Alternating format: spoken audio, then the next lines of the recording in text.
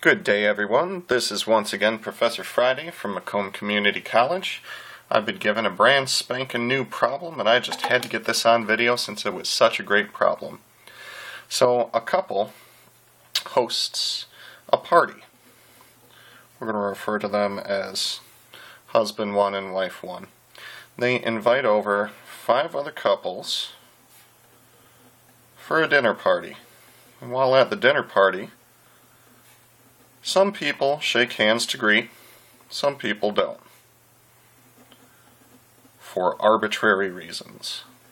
That's what it said in the problem. For arbitrary reasons. I liked that. So some of them shake hands, some of them don't. No individual shake hands, uh, shakes hands with his or her spouse. Now, later at the dinner, the husband asks everybody, How many people did you shake hands with? Or how many people did yeah, yeah. How many people did you shake hands with? And when he ha- when he asks the other 11 people at the party, they all give different responses. So the question is, with how many people did the spouse of the host of the party shake hands? So for that, I'm going to write down the 11 possible responses. First, for any individual at the party, they will not shake hands with themselves, and they will not shake hands with their spouse. Meaning that, at a maximum, number of handshakes that a person can have is 10. At a minimum, I refer to the rudest individual. That is the person that shook hands with nobody. So, given that there are exactly 11 integers between 0 and 10 inclusive, the possible responses would be 0 through 10 inclusive. So what we have written here are the 11 responses from the people other than the host for how many hands did you shake. So here's what we're going to do. We're going to say there must be a person. There must be a person who shook 10 hands. Without loss of generality, I can call that literally anybody here. It could be a husband, it could be a wife, it could be anybody 1 through 6. Out of complete arbitrariness, I'm going to say that wife number 4 shook hands with 10 people. So we'll say shook hands with 10 people. And those 10 people would be husband 1, wife 1, husband 2, wife 2, husband 3, wife 3. Now, wife 4 cannot shake hands with husband 4 or with wife 4, so we'll skip those two. Husband 5, wife 5, husband 6, wife 6. So now at this point, we have our one person that shook hands with 10 people, and that was wife number 4.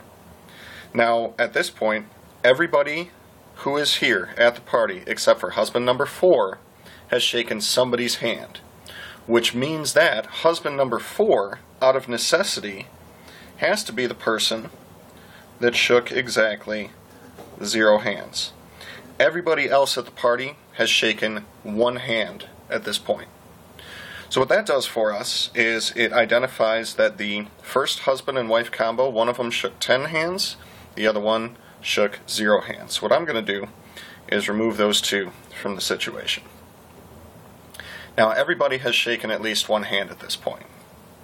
However, I'm going to work my way down.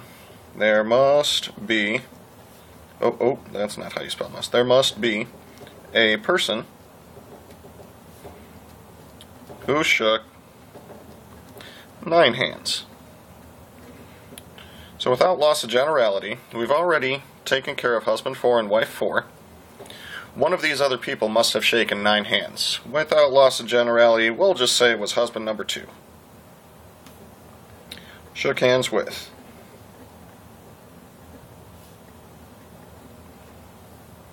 Nine people.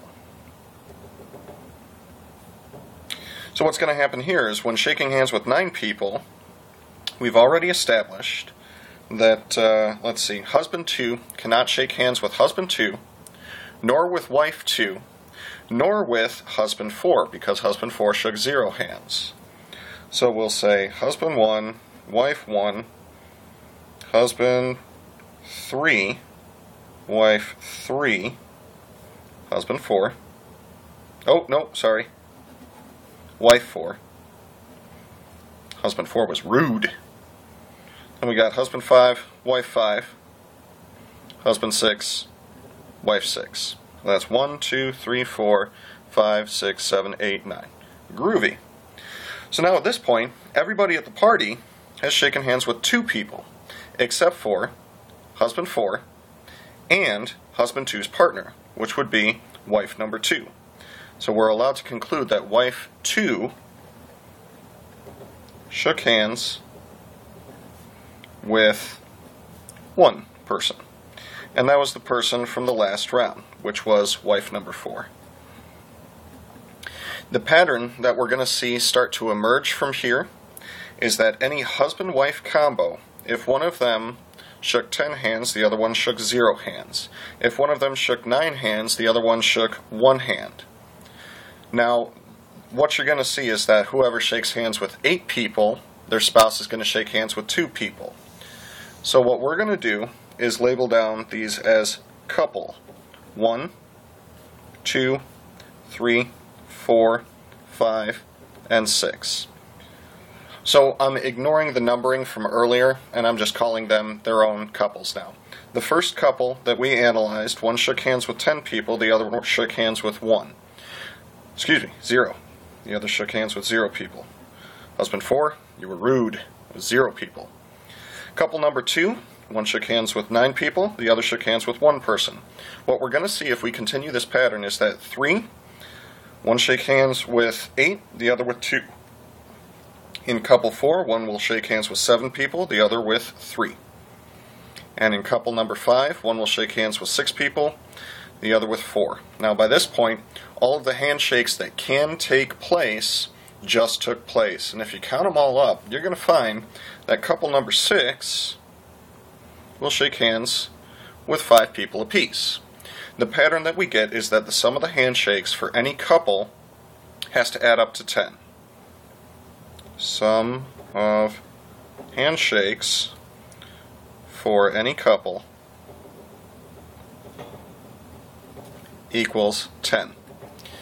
Now this last one seems like a contradiction because we said at the beginning of the problem that the host asks everybody else with how many people did you shake hands and he got 11 different responses, not the same response.